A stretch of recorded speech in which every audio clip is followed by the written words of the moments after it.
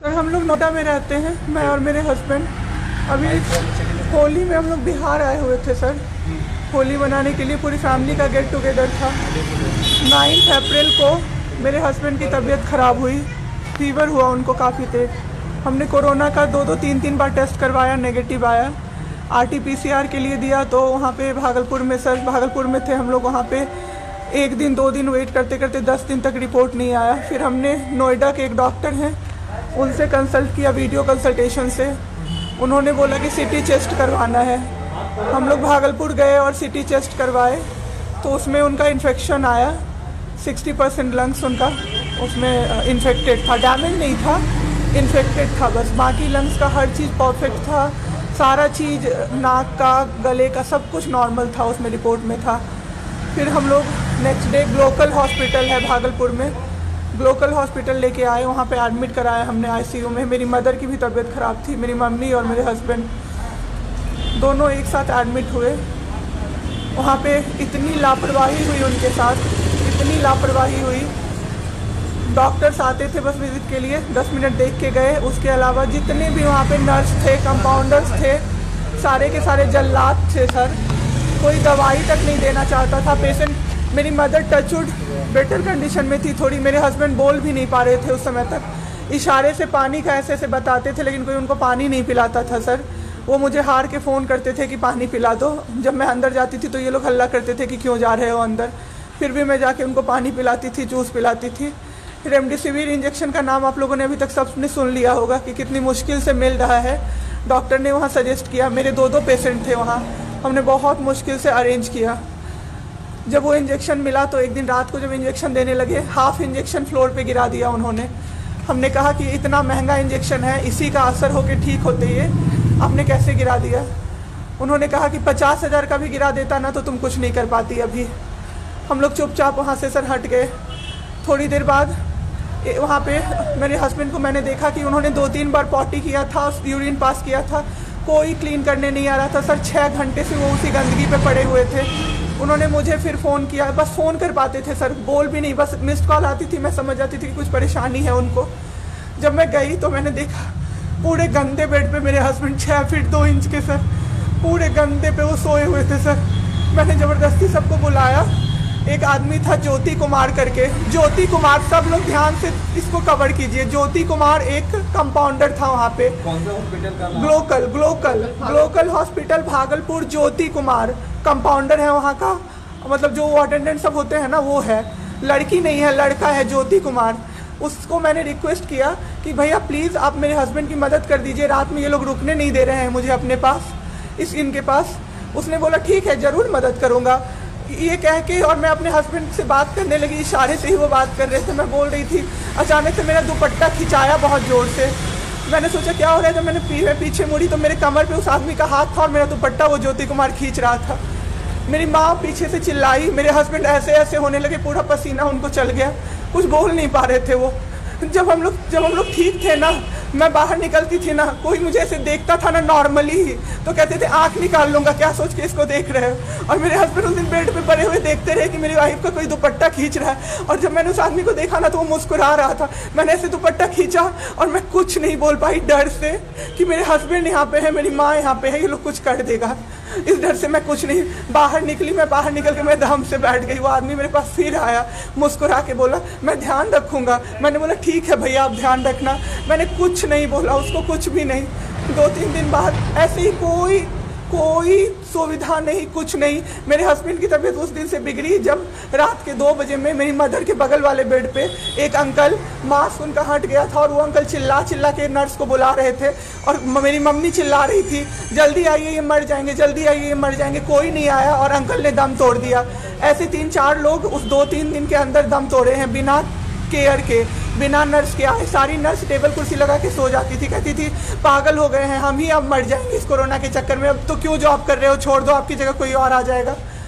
उसके बाद वहाँ से ले बाई बाई पैप वहाँ उस हॉस्पिटल में नहीं अवेलेबल था, मेरे हस्बैंड की तबीयत एक दिन बहुत ख़राब हो गई।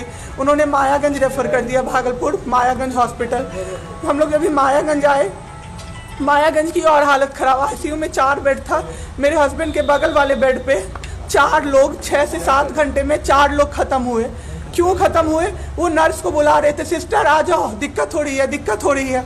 और सिस्टर नहीं आती थी। एक अंकल तो बुलाते बुलाते उलट के गिर गए, पूरा सर फूट गया, ब्लड ब्लड और मर गए वो अंकल वहीं पे।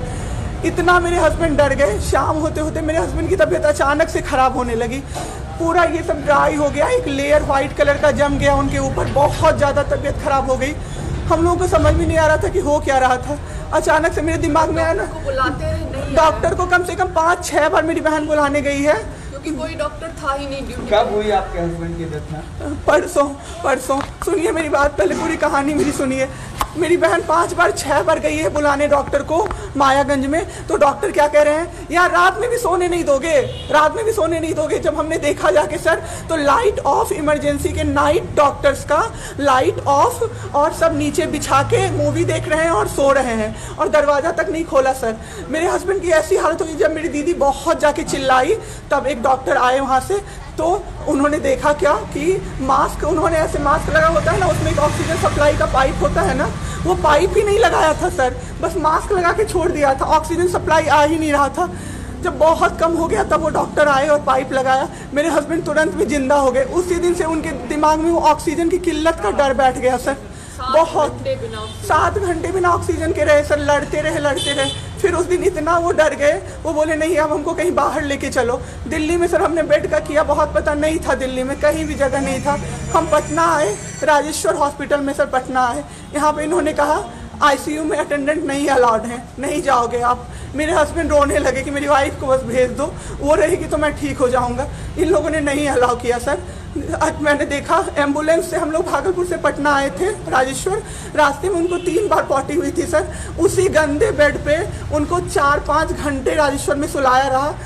मैं दस बार जाके बोली बाहर से कि, सर प्लीज़ बेड क्लीन कर दीजिए। वो हम लोग देख लेंगे ना, एक डॉक्टर निकले, मैंने बोला, वो मेरे हस्बैंड अंदर से ना बोल नहीं पा रहे थे अंदर से ऐसे ऐसे कर रहे थे, बुला रहे थे सबको। मैंने कहा, सर, वो बुला रहे हैं किसी को बाहर से। तो एक डॉक्टर मुझे कहता है, अरे, छोड़िए ना, वो छोड़ा तो ऐसे ही बौखला रहा है जब से आया है। मैं मैं उस समय कुछ नहीं कर पाई सर उसके बाद उनका ऑक्सीजन लेवल जब 37 हो गया। तब मेरे साथ मेरी दीदी थी, मेरे जीजा जी थे और मेरे जेठ थे। तब मैंने अपने जीजा जी से बोला कि अब मेरे से नहीं रहा होगा, मुझे किसी तरह से अंदर भिजवाइए। तब उन्होंने ज़बरदस्ती मुझे अंदर भेजा और 37 से 74 मैंने कर दिया 10 मिनट में मेरे बाबू का। मेरे बाबू का ऑक्सीजन लेवल मैंने बढ़ा दिया। उसके बाद इन लोगों ने मुझे बोला, मैंने बोला, सर अटेंडेंट अलाउड है। सारे के अटेंडेंट बैठे हुए थे। तो एक डॉक्टर ने मुझे बोला अटेंडेंट अलाउड नहीं रहेंगे तो कैसे काम चलेगा? सब तो कोरोना से बीमार पड़ रहे हैं, हम लोग कितना देखें? हम लोग क्या मर जाए खांसते खांसते सबको देख के? बैठिए, चुपचाप और देखिए। पंद्रह दिन तक सर एक टेबल पे एक लगातार में बैठी हूँ। आज एक महीना पे मैंने ब्रश किया है सर, एक महीने पे ब्रश किया है। मैंने बाबू को बहुत ठीक कर दिया। इतना स्ट्रॉ लगा के सर मास्क के अंदर से स्ट्रॉ लगा के बाबू को मैंने जूस, दाल, रोटी सब कुछ पिलाया सर। इतने ठीक हो गए ना कि जो डॉक्टर फ़र्स्ट डे बोला था, ये बचेगा नहीं। वो डॉक्टर सर तीन चार दिन बाद कहता है, टच टचवुड क्या कर दिया आपने इनके साथ? ये तो एकदम ठीक हो गए, गजब का फाइट दिया आप दोनों ने मिलके। मुझे क्या पता था कि मैं फाइट दे रही हूँ और ये लोग मेरे बाबू को ख़त्म कर देंगे। इतना ऑक्सीजन का किल्लत सर मेरा बाबू डर गया बहुत ज़्यादा। ऑक्सीजन सिलेंडर देखता था और कहता था हाँ हाँ वो ख़त्म हो जाएगा, वो ख़त्म हो जाएगा। मैं कहती थी, नहीं ख़त्म होगा बाबू डेढ़ डेढ़ घंटे के लिए सर ऑक्सीजन सप्लाई बंद रहता था। बाद में हमें पता चला, ये लोग ब्लैक ब्लैक मार्केटिंग कर रहे हैं अंदर में ऑक्सीजन सिलेंडर का। जो कम, जो अस्पताल वाले हैं ना, वो ऑक्सीजन सप्लाई बंद कर देते थे, ताकि बेचैन होके लोग खरीदें उन्हीं से। हम भी खरीदे, सर। मैंने भी खरीदा। क्या करते? क्या करते? हमें भी तो चाहिए था। परसों, सर, सुबह में हमारे पास एक ही सिलेंडर था। पाइपलाइन बंद हो गया। मेरे हस्बैंड को बाईपैप लगा हुआ था। उनको दो सिलेंडर से जाना था। एक ही सिलेंडर था। सिलेंडर मांगते मांगते कहीं नहीं मिला, सर। मेरे हस्बैंड खत्म हो गए। मेरे हस्बैंड खत्म हो गए सर मेरा बाबू चला गया हमको छोड़ के। आपके साथ